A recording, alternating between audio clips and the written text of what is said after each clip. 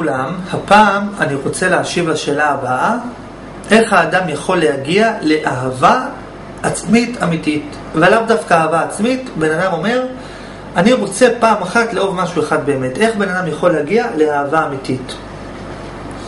וכפי שכבר הסברנו בפעם הקודמת, בעולם שלנו אין דבר כזה אהבה אמיתית, כי כל אהבה יש לה סיבה. אתה אוהב מישהו בגלל שהוא גורם לך להרגיש משהו. דהיינו, אתה לא אוהב אותו, אתה אוהב את הדבר שהוא גורם לך להרגיש. שום אהבה פה בעולם היא לא אמיתית. תמיד זה בגלל סיבה כלשהי. ועכשיו האדם שואל, טוב, איך אני בכל זאת מצליח להגיע לאהבה אמיתית? והתשובה לשאלה הזאת היא שמי שרוצה להגיע לאהבה אמיתית צריך לחוות אהבה ללא סיבה. מה זה אהבה ללא סיבה? פירושו אהבה כשאין סיבה למה אתה אוהב. כי אם יש סיבה למה אתה אוהב את הדבר, ממילא אתה לא אוהב את הדבר, אתה אוהב את הסיבה. זאת אומרת, אם אתה אוהב משהו, אם אתה אוהב את, הדג... אם אתה אוהב את האוכל כי הוא גורם לך להיות שבע, אז אתה לא אוהב את האוכל, אתה אוהב את, ה... את תחושת השובע. ואם אתה אוהב את תחושת השובע כי היא גורמת לך להרגיש טוב, אז אתה לא אוהב את תחושת השובע, אתה אוהב את זה שזה גורם לך להרגיש טוב. זאת אומרת, תמיד האהבה היא בשביל משהו אחר. אתה תמיד אוהב את זה בשביל משהו אחר. וגם את עצמך, למה אתה באמת אוהב את עצמך? מה הסיבה? ואם אין לך מושג מה הסיבה שאתה אוהב את עצמך, איך אתה יכול להגיד שזה אהבה אמיתית? זאת אומרת, יש, כי ברציונל עדיין אתה יכול לאהוב גם דברים אחרים, אז למה אתה, אתה אוהב דווקא את עצמך ולא דבר אחר?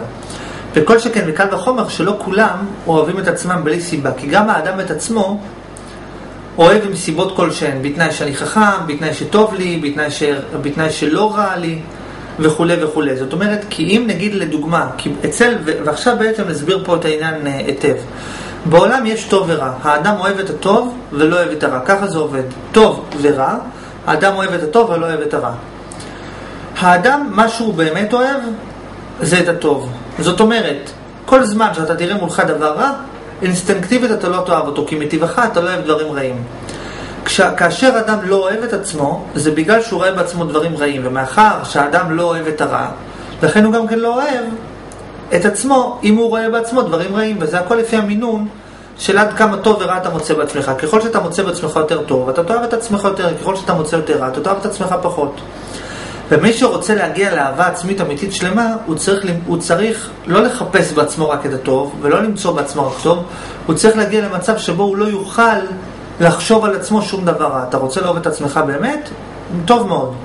אבל אתה צריך להביא את עצמך למצב שבו האהבה שלך לעצמך היא לא תהיה בגלל הטוב שבך ולא בגלל הרע שבך, אלא היא תהיה בגלל שאין אפשרות להרגיש רע, שזה עדיין לא יהיה לחוות רע כלפי עצמך, שזה עדיין לא יהיה תלוי בסיבה שאתה מוצא בעצמך דברים טובים. זאת אומרת, אם נשאל, אם נשאל בן אדם למה אתה אוהב את עצמך, הוא יתחיל להגיד סיבות טובות. למה אתה לא אוהב את עצמך? סיבות רעות. בן אדם צריך להביא את עצמו למצב שהאהבה העצמית האמיתית שלו, או שהאהבה שלו האמיתית תנבע לא בגלל הדברים הטובים ולא בגלל הדברים הרעים, אלא שהיא תנבע בגלל שאין שום דבר רע. שזה נובע ממקום הרבה יותר פנימי, זה לא בגלל טוב חיצוני, טוב ורע, אלא בגלל דבר פנימי יותר שהוא לפני הטוב והרע. יש טוב ורע, ויש דבר פנימי יותר, יש את האחדות, יש את המקום שבו אין טוב ורע, שבו לא משנה אם זה טוב או רע, לא משנה בכלל מה המצב החיצוני, לא משנה שום דבר. וכשבן אדם מתחבר לפרספקטיבה הפנימית יותר, שבה אין הבדל בין טוב לרע, שבה הכל אחד ממש, אז ורק אז האדם אוהב את עצמו ואת כל המציאות כולה באהבה עצמית אמיתית. ואז הוא גם מבין שמצד האמת כולם אוהבים אותו באהבה עצמית אמיתית, כי מצד האחדות של המציאות, לא רק שאתה אוהב את כולם, אתה מבין שגם מצד האמת כולם, כולם אוהבים אותך, כי כולם בפרספקטיבה מסוימת, מה שהם אוהבים זה תחושת האחדות של המציאות. והנושא, אני אסביר אותו עוד פעם ממש פשוט. כל זמן שאתה חושב שיש במציאות טוב ורע, אתה תמיד תמצא בעצמך משהו טוב, ואתה תמיד תמצא בעצמך משהו רע. כל דבר בעולם, תמיד יש בו גם משהו רע. עצם זה שאתה קיים, זה משהו רע כי אתה לא משהו אחר.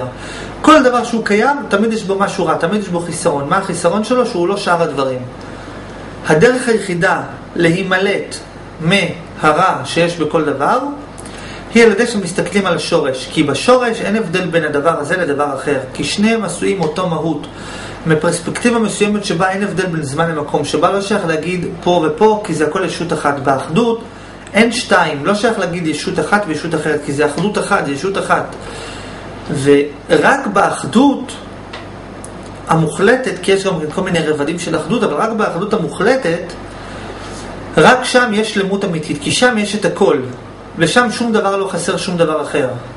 ושם, ממילא, לא שייך להגיד זה טוב וזה רע, כי גם הטוב והרע, גם הם בכלל ישות אחת.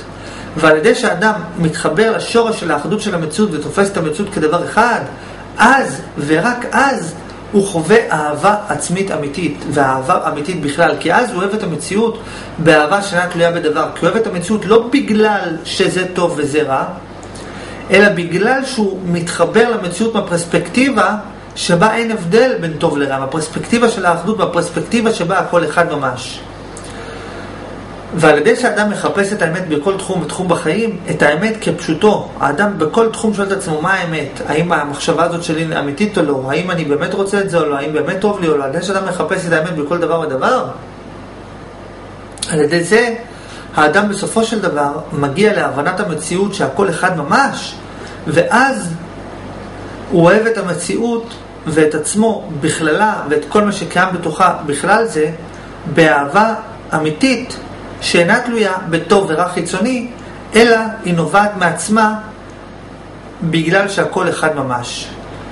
ושיהיה לכולם המשך יום של אהבה אמיתית שנובעת מעצמה ושהיא הסיבה של עצמה. תודה.